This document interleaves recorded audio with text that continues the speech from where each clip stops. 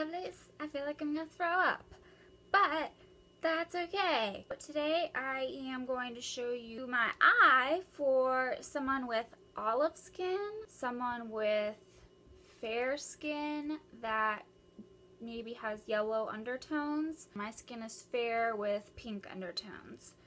But we're gonna have fun and we're gonna play around. So we're gonna do a smoky eye look. It's kind of going to be purple. I feel like purple is really pretty on all eye colors, so that's why I really like it. It is a safe bet for doing smoky eye, but I also just genuinely love it and think that it looks really good on brown eyes, green eyes, hazel eyes, blue eyes. You can use your fingers, just so you know. And I'm also going to be using a pigment. Uh, the pigment is MAC and Tan. That can be really messy if you use your hands. You can use anything. This is like a drugstore Soho one, a big blending brush. And then I have my MAC ones. I swear by MAC brushes. They're just what I'm used to and what I like and they clean really well. So what I start with is I like to pack on color onto my lid. We're going to prime the lid with a lid primer. I just get these as samples and then I just use those. I don't have like a particular one that I really like. This one is Smashbox Photo Finish blah blah blah blah but I'll tell you why in a second why it really doesn't matter to me.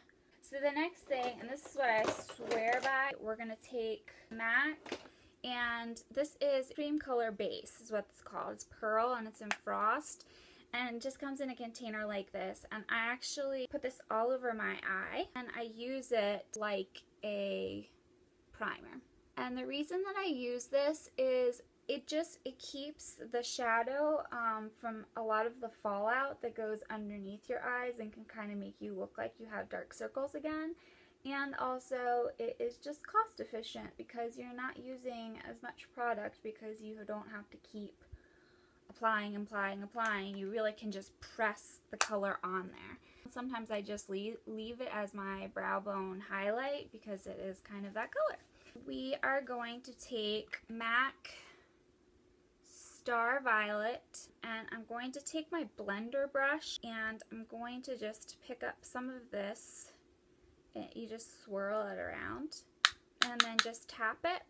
And what I'm going to do is I'm going to place it right in the corner of the socket and then move it up. Now I'm not going up onto the socket yet, I'm coming across the lid.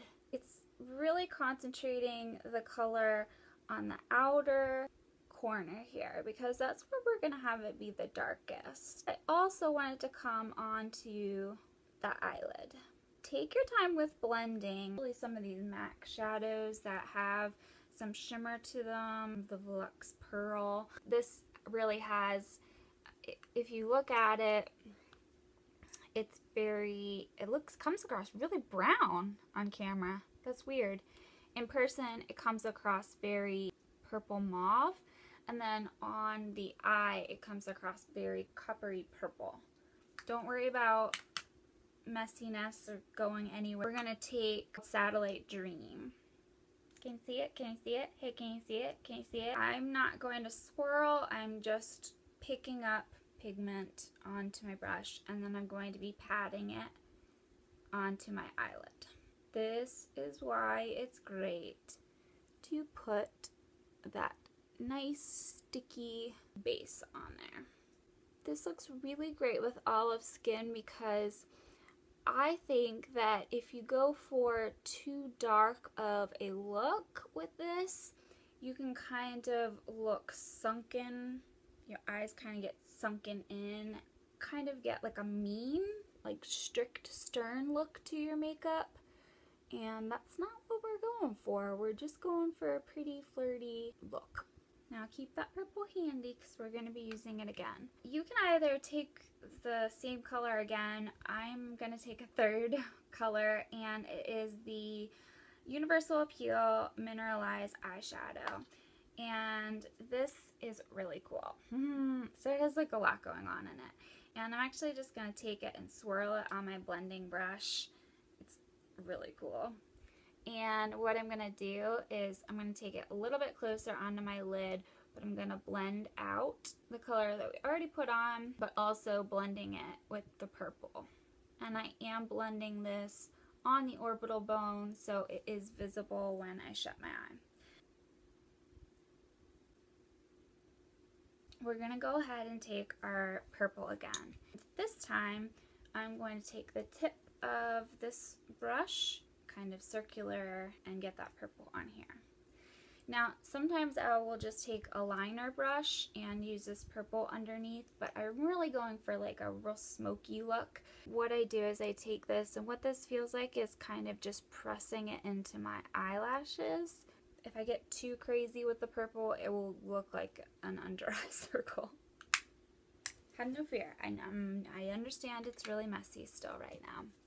I wish I had lights for you guys, but they're packed up, so I apologize for the shadow. So now that we have that done, and then take your brow and just kind of pull that down so that it's a little bit more crisp. So next thing we're going to do is we're going to put some eyeliner on. I feel like I'm going to throw oh. I'm just going to use a black, um, it's called Black Tied Velvet. It's just a black shimmery, which it doesn't really pick up the shimmer if you're just using it as eyeliner. And I'm using a 266 brush for this. And what's great about this is that when you use this, you can just press it into your eyelashes. And then when you get to the other side, you can kind of just use it just in these tiny little strokes. Now, for those of you that have two different eyes, which is me, you want to try your best on the top lid to mimic each other. For instance, my lid slopes very much on this one and this lid is more shaped like an oval. So I tend to make a tinier line on this and a little bit thicker line on this. So we're doing some optical illusions. Okay. I'm going to do a little bit of a winged look today, but um, I'm not going to do that until after we put our lashes on.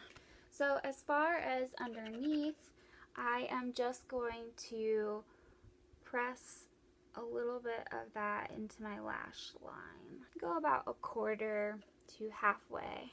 Now the purples that I'm using have some copper in them and if you notice a lot of Muslim people, they will use coppery or gold. It looks really great on their skin and it's olive. So if you can find some shades that are like this purple that kind of has that gold bronze in it, you are set.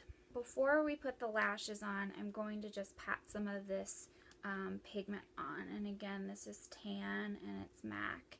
Well, I actually just take the lid, take this purple brush that, that I used, and I tap it on here and grab some pigment. By some, it's a lot and then I pat this just in the center of my lid. And I'm not moving it around at all, I'm just patting it on. This is just going to brighten up your eyes and not give you that hooded look anymore. I'm going to do a coat of my Define-A-Lash. Do you see that pigment on there? How pretty that is? I feel like people are a little bit afraid to play around with pigments and color and glitter.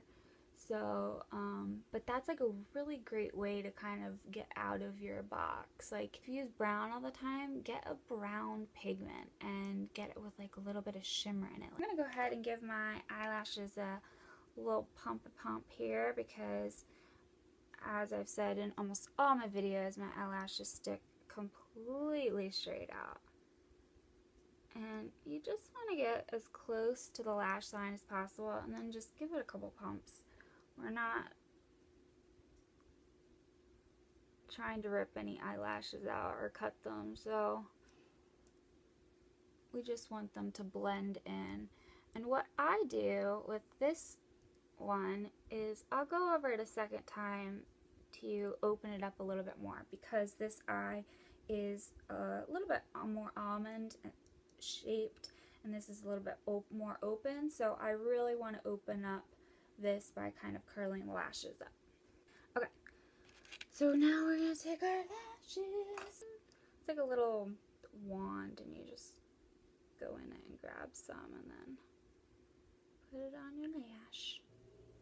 Grab my eyelashes and the fake lashes and kind of jam them together so I know I just have a better feel. I know a lot of people use tweezers and stuff like that, but I just get a better feel for it, where it's going and where I need to push it in if I can actually feel my lash line. And all I'm doing right now is I like, I'm just going through and pressing I kind of lift up my lid and just press my natural lashes into these lashes. So now that we've dried a little bit, I'm just going to run some mascara through my lashes and the new fake lashes. Now that we've done that, I'm going to take another mascara. I always use two mascaras, and this is the They're Real. Now, I'm not pressing as much on this eye to get these to curl up. I'm kind of just combing through them a little bit more because again we're trying to open this eye up and just have this eye be kind of regular. Now we're going to take our uh, Black Track fluid line. Okay, so what I do is I take it on the brush, it's kind of like a little bit muddy, and then I just kind of scrape it off on each side. And what I do is I press it into this area, kind of where the lashes are visible, and then I pull my lid, and then I'm going to just press on those lashes and a little bit out. Then we're going to do the other side, and I'm just going to get both sides to look nice before I even start thinking about a wing, because sometimes I have a really hard time, and I'm like, forget it, we're not doing a wing. if you remember correctly, this side we're doing a thinner line, so we're just getting closer to the lashes. The other one we kind of went over the lashes a little bit because we're opening this eye up and closing this eye a little bit. You can go ahead and at this point you can do a flick if you like. You kind of want to take it in the direction of your eyelash line. So if it would it would kind of almost glide right to your lower lash line. And then I kind of just bend my head back and smudge that into the line that we have already. And what we want to do is get those real even. So I take a q-tip and just clean up as needed on the edges there. And I roll the q-tip up. Mm-hmm. Okay, this is not the look we're going for, so I just want to take it and clean, clean, clean. You want to think about your lip color because this is something that kind of can make or break your look, especially if you have olive skin or fair skin or one of the extremes. You can do a strong lip and a strong eye. There's nothing that says you can't do that. But it's what you're kind of going for. If you're going out for Valentine's Day, sure, do a red lip and gorgeous winged eye with falsies. It doesn't matter. For like an everyday look, if I do something uh, like this, I just try to find something that complements. I'm not a lipstick girl, I am a lip gloss girl. Overline looks like I'm doing it on the line of my lip, but I'm actually doing it just outside, especially right here. And then you just want to fill it in a little bit because this is a color stay liner. So if your lip gloss wears off, you can have this underneath. For this look, I'm going to use an Evolution Revolution by MAC. And it is a very peach toned, light lip. I actually don't really like um, a dark lip on olive skin. I like a peach lip, pink lip, um, something very girly, again, because I think it can get very stern looking, very matronly looking. Okay, so this is the final look. I am going to grab you. Well, that sounds really creepy, but I'm going to grab you and um, I give you a look here.